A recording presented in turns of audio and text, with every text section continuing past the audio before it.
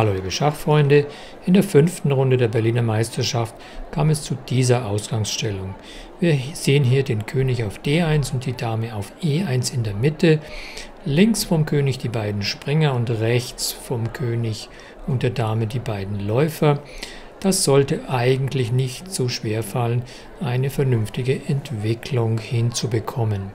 Beispielsweise könnte man die Damenstellung auf E1 für einen frühen Damen Ausfall nach H4 nutzen.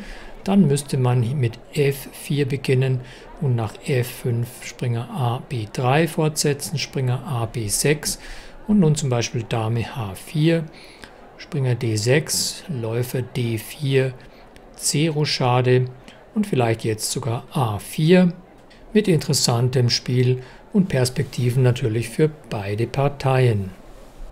Mich hat diese Ausgangsstellung zu einem interessanten Gambit gereizt.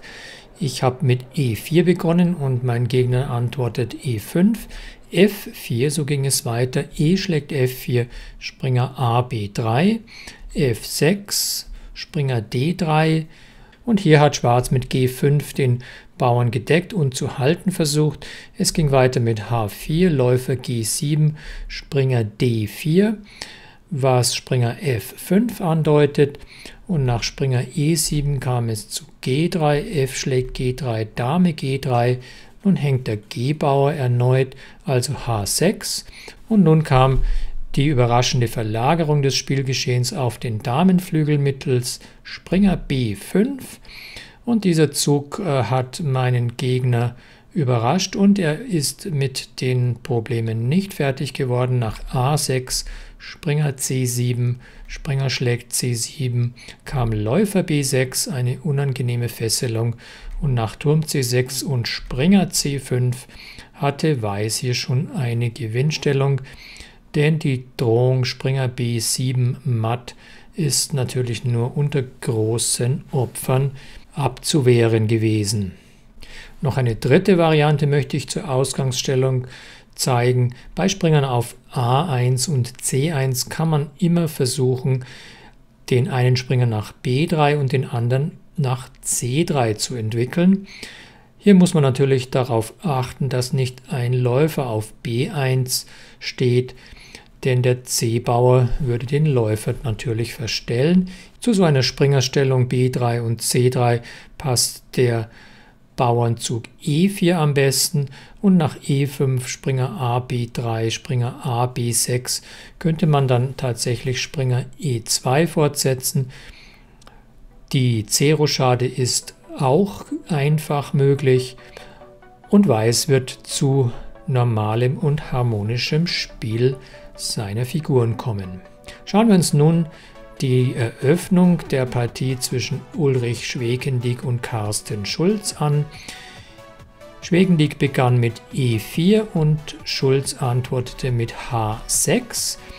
Das sieht man gelegentlich im Schach 960, die frühe Entwicklung des Läufers G8 nach H7. Ja, der Läufer von G8 oder G1 ist ja manchmal auch so ein bisschen ein Problemkind. Man muss sich allerdings darüber im Klaren sein, dass man in den nachfolgenden Zügen den Kampf ums Zentrum im Auge behalten muss. Es ging weiter mit D4, Läufer H7 und F3.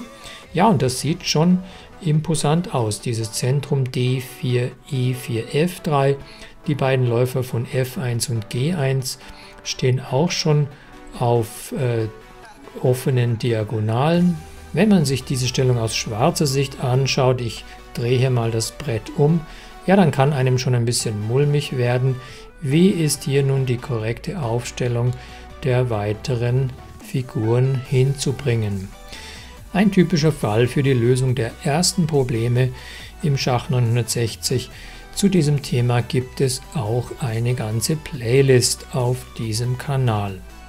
Hier hätte Schwarz D7, D5 spielen sollen. Es ist nicht so schwer zu erkennen, dass der Bauer auf D5 wieder verloren geht. Nach E schlägt D5 könnte Schwarz Springer A B6 spielen und C4 geht natürlich nicht wegen Läufer B1. Mit anderen Worten, Schwarz würde auf D5 den Bauern zurückgewinnen Und selbst wenn der Springer von D5 irgendwann vertrieben wird, hätte er auf F6 ein ganz natürliches nächstes Feld. Die bessere Fortsetzung statt ED5 wäre wahrscheinlich Springer D3. Dann müsste Schwarz Springer AB6 spielen und nach Springer B3 E6, C-Rochade meinetwegen von Weiß, Springer D6 und so weiter.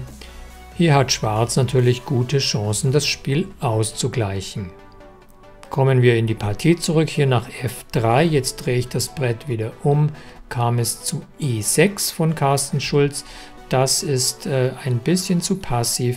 Weiß kann Springer D3 spielen und nun D6. Ja, hier geht D5 schon nicht mehr so richtig gut. Es käme E schlägt D5, E schlägt D5 und nach Dame schlägt E8, König E8.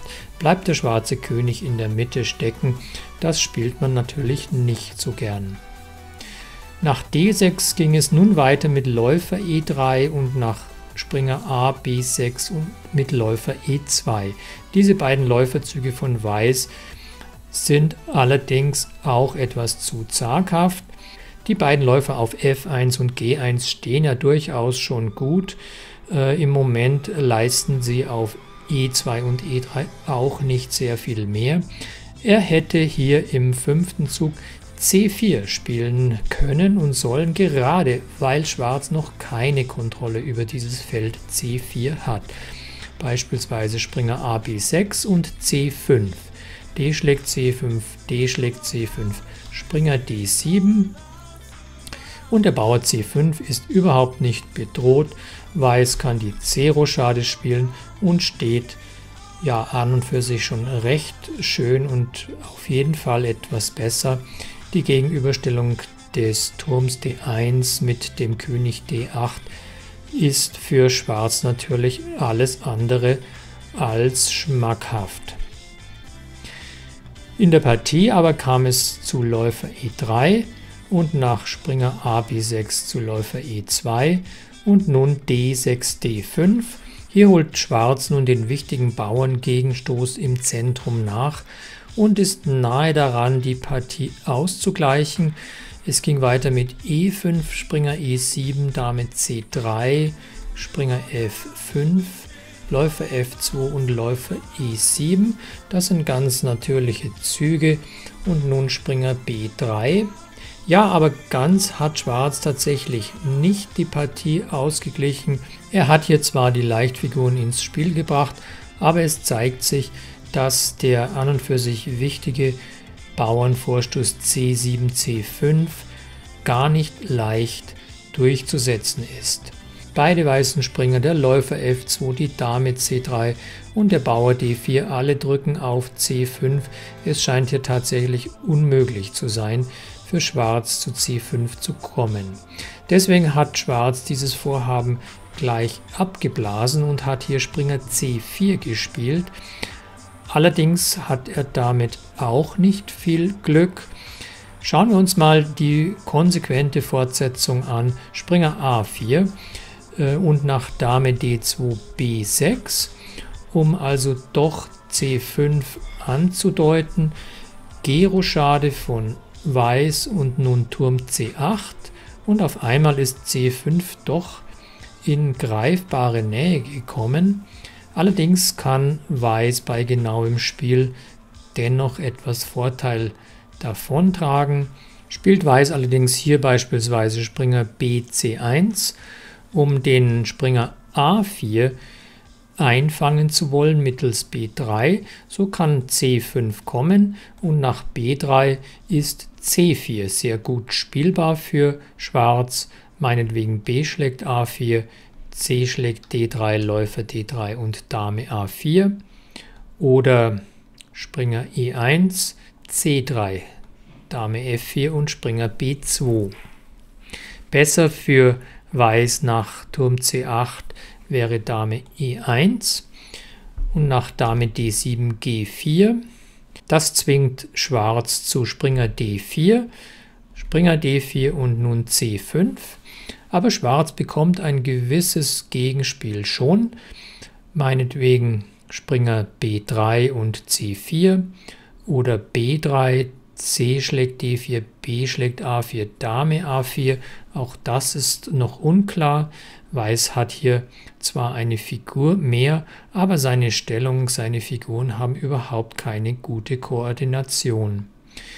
Die beste Fortsetzung wäre hier Springer C5, B C5 und es entwickelt sich hier ein wildes taktisches Handgemenge, aber genau so etwas ist ja oft die Idee im Französisch oder im Karokan durch einen überraschenden Konter soll irgendwann die weiße Expansion ausgebeutet werden. Allerdings hier könnte Weiß mit Dame A5 fortsetzen, Springer B6, Läufer B5, Dame B7, Läufer A6, Dame B8, Läufer C8, C schlägt D4, Läufer A6, eine lange Variante, die hier natürlich mit Computerunterstützung zustande kommt. Läufer C2, Turm B1 und D4, D3. Und die Stellung ist immer noch unklar. Hier haben wir jetzt dieses typische Konterspiel, wie wir es im Karokan oder im Französisch oft sehen. Aber diese Variante liegt natürlich auch weit jenseits unseres menschlichen Rechenhorizontes. Aber wir sehen auch hier, dass im Prinzip der konsequente strategische Plan, auch wenn er noch so schwer durchsetzbar scheint, unser Ziel sein sollte. Kommen wir in die Partie zurück. Schwarz hat Springer C4 gespielt und nach Springer D C5 ist der Springer C4 schon gleich bedroht gewesen. Weiß droht schon mit Bauerngewinn. Hier kam es zu Dame C6. B6 hilft auch nichts wegen Springer A6, Turm C8, Läufer C4, Schlägt C4 und Dame schlägt C4 mit Bauerngewinn.